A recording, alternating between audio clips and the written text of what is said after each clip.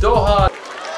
Salam alaikum. This is Maz Jobrani. I'm coming to do a show. When we see each other, when we say hello, how many kisses are we going to do?